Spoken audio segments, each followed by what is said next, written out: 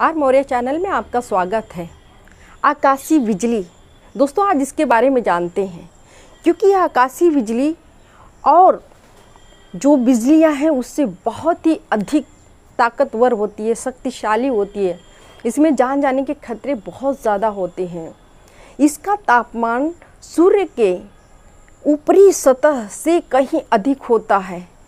लगभग एक 300 किलो वा, वाट यानी ये करीब 25.5 करोड़ वाट या इससे भी बढ़ जाती है और एक अरब वोल्ट तक हो जाती है इसकी जो शक्ति है जो झटके हैं तो जो करंट लगने का इसमें पावर है ये बहुत ही अधिक होता है आप समझ सकते हैं कि 400 वाट की बिजली से हम इतने सारे मशीनें चला लेते हैं, सब कुछ कर लेते हैं। अगर थोड़ा सा लग जाए तो व्यक्ति की जान नहीं बचती।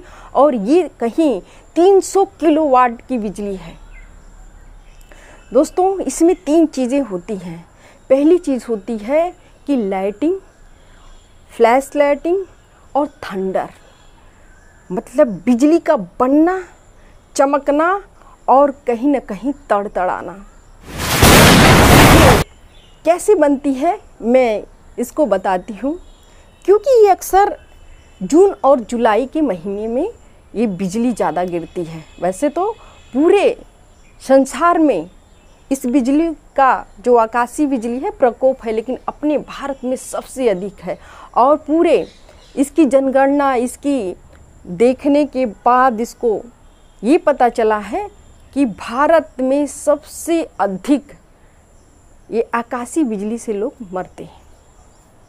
दोस्तों, जब हवाएँ ठंडी होती है, संघनित होती है और वो बादल बनाती है मीन्स कंसेंडेंट होकर वो बादल बनाती है और बादलों में ये गर्म हवा प्रवेश कर जाती है, जिससे पॉजिटिव चार्ज हो जाता है और नीचे की हवाएँ वो कहीं ना कहीं नम रहती हैं या ठंडी रहती हैं जो निगेटिव चार्ज मतलब धनावात्मक आवेश और ऋणात्मक आवेश होते हैं।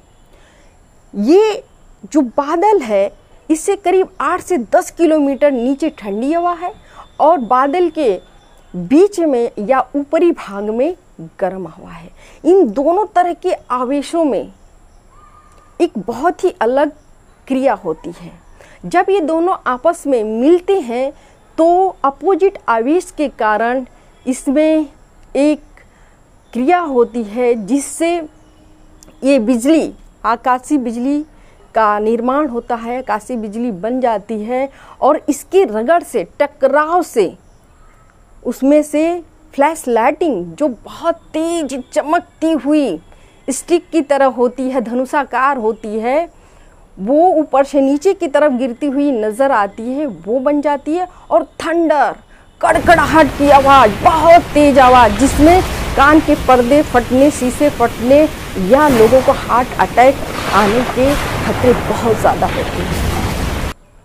दोस्तों, इससे बचने के लिए बहुत सारी चीज़ें की जाती है, लेकिन मैं एक चीज़ बताऊँ आपको कि जब भी आकाशीय बिजली उत्पन्न होती है तो ये ऊपर बादलों से शुरू होती है और ये नीचे ज़मीन पर आती है। इसके लिए इसको कंडक्टर, संचालक की ज़रूरत पड़ती है। बिना संचालक का ये धरती पर नहीं गिर सकती, ज़मीन पर नहीं आ सकती और ये आसमान में भी देर तक नहीं रह सकती। तो इसको ज़मीन पर आना ही है। अब ये जो कंडक्टर हैं, जो इसके आने के रास्ते हैं, जो संचालक हैं वो हरा पेड़, पानी, टावर और इस तरह की जितनी भी इलेक्ट्रिसिटी की चीज़ें होती हैं, जो बिजली से संबंधित खंभे या सामान होते हैं, उसमें ये बहुत ही तेज कन, वो करती है कनेक्ट करती है और उसके थ्रू नीचे आती है। दोस्तों, अगर बिजली चमक रही है बहुत ज़्यादा तड़तड़ाहट की आवाज़ आ रही है तो पहला काम करना चाहिए कि आपको जितना जल्दी हो सके। अगर कोई घर है, कमरा है, छुपने की जगह है तो उसके अंदर आ जाना चाहिए। इस खुली जगह पे नहीं रहना चाहिए। बिल्कुल आप पेड़ों के नीचे मत रहिए। अक्सर देखा जाता है कि जब बारिश होती है तो लोग पेड़ के नीचे छुप जाते हैं।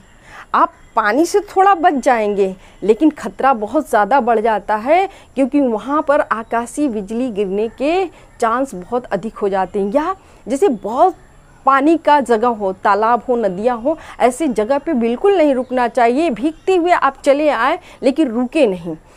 आप जब घर बनवाते हैं तो अक्सर इसका ध्यान नहीं रखते। आपको ये लगता है कि ऊपर के जो बिजली के खंभे हैं तो हम अपने छत पे चढ़ेंगे तो वहाँ पर इसके लगने से खतरे होंगे। वो खतरा तो है। दोस्तों, साथ में सबसे बड़ा खतरा है कि जब भी ऐसे आकाशीय बिजली का जब अटैक होता है आकाशीय बिजली गिरती है तो उसमें घर के ऊपर अटैक होता है। अगर छत के ऊपर कोई है तो जान जाने का खतरा होता है। तो ऐसे में घर बिल्कुल ना बनवाएँ। तीसरी चीज़, कि सेड युक्त लोहे युक्त जगहों पर कोशिश करें ना रुकें। और अगर बिजली चमक रही है तो आप कई लोग हैं तो एक दूसरे का हाथ पकड़कर बिल्कुल ना बैठिए, आप दूर दूर हो जाइए। कान को बंद कर लीजिए, अपने सारे जो भी इलेक्ट्रिक आपके पास सामान पड़े हुए हैं, जैसे मोबाइल आपके पास है रेडियो है बहुत सारी चीज़ें टीवी है, घर में फ्रीज़ है तो इसको आप ऑफ़ कर लीजिए।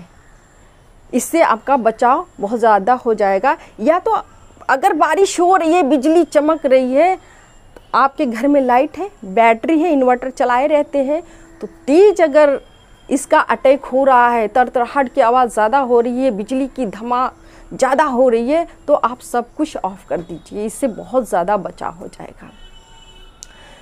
दोस्तों, आप अगर घर के कुछ दूर पे लोहे की राड लगवा देते हैं तो आपका घर सुरक्षित हो जाता है। कभी ऐसा होता है तो वहीं पर बिजली उतरेगी और वहाँ से चली जाएगी। अब ये जान लेते हैं कि ये बिजली का करंट कितने तरह का होता है।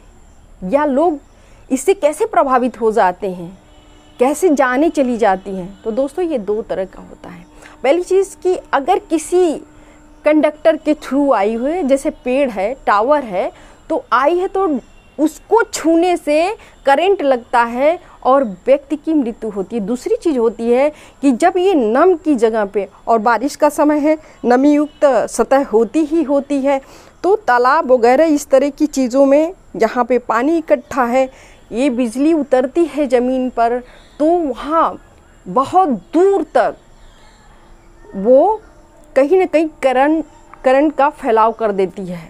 तो आप उस जल में ना जाएँ, लेकिन सतह पे हैं तो वहाँ पर भी करंट लग सकता है। दोस्तों, इससे बचने के लिए आपको इसके बारे में जानना बहुत ज़रूरी है, और सबसे ज़्यादा ये अब जानते हैं, बारिश के महीने में ही बिजली गिरती हुई नज़र आती है। और दूसरी चीज़ है कि ये तब बहुत ज़्यादा होती है जब धूप और बारिश मतलब मौसम का बहुत ही ज़्यादा फेरबदल होता है। गर्मी के बाद सडन बारिश को होना। और दूसरी चीज़ मैं आपको बता दूँ कि ये सुबह में बहुत ही कम देखने में मिलती है। ये अक्सर दोपहर या उसके बाद वाले टाइम में ही आकाशीय बिजली गिरती है।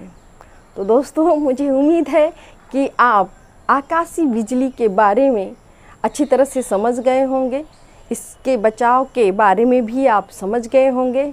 अगर अभी तक आप लोग आर मोरिया चैनल को सब्सक्राइब नहीं किए हैं तो प्लीज़ दोस्तों कर लीजिए, क्योंकि बहुत सारी ऐसी जानकारियाँ इस वीडियो से मिलती रहती है और इसके लिए आपको शेयर करना, आपको लाइक करना और कमेंट बॉक्स के थ्रू कुछ पूछना तो प्लीज़ आप पूछें और हृदय की गहराई से आप लोग को बहुत बहुत धन्यवाद।